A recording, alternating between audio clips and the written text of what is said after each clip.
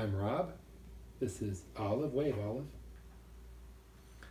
And uh, today's story is The Book with No Pictures by famed children's author B.J. Novak. Ready, Oz? The Book with No Pictures, B.J. Novak. This is a book with no. Pictures. It might seem like no fun to have someone read you a book with no pictures. It probably seems Boring. and serious. Serious. Except This Here's how books work. everything the words say, the person reading the book, Has to say. mm-hmm, No matter what. no matter what. That's the deal. That's the rule. So that means even if the words say, blork, wait, what? Huh? That doesn't even mean anything. Blurf. Oh. Wait a second. What? This isn't the kind of book I wanted to read. And I have to say every word the book says? Yeah. Uh oh. I am a monkey who taught myself to read. Hey, I'm not a monkey. And now I am reading you this book with my monkey mouth and my monkey voice. That's not true. I'm not a monkey. Yes, I am a monkey. Also, I am a robot monkey. What? And my head is made of blueberry pizza. Wait a second. Is this whole book a trick? No. Can I stop reading, please? No. No? And now it's time for me to sing you my favorite song. A song? Do I really have to sing a.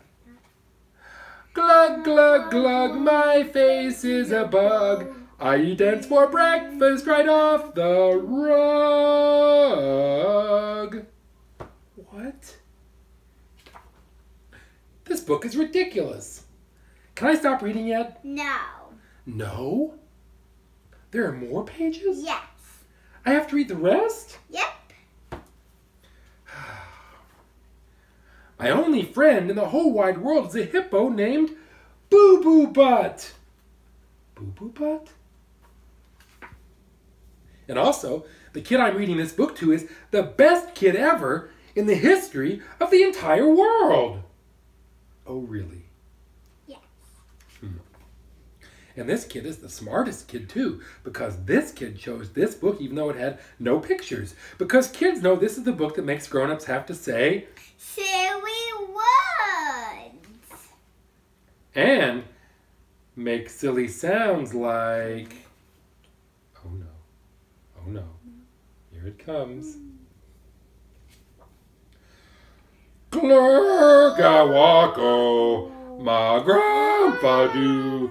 Aye, aye, aye. Barook, barook, barook. Oomph, eemph. Blaggity, blaggity. Glibbity, globbity. Globbity, glibbity. Beep, boop.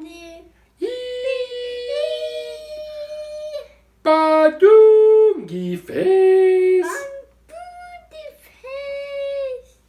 Oh my goodness. Please don't ever make me read this book again. It is so silly. In fact, it is completely and utterly preposterous. What was that word you were just saying? Preposterous. Can you say preposterous? Preposterous. There you go. Next time, please, please, please, please, please choose a book with pictures. Please? Please. Because this is just too ridiculous to read. The end. Bonk. I didn't want to say that. The book with no pictures. Bye bye. Wait, bye bye.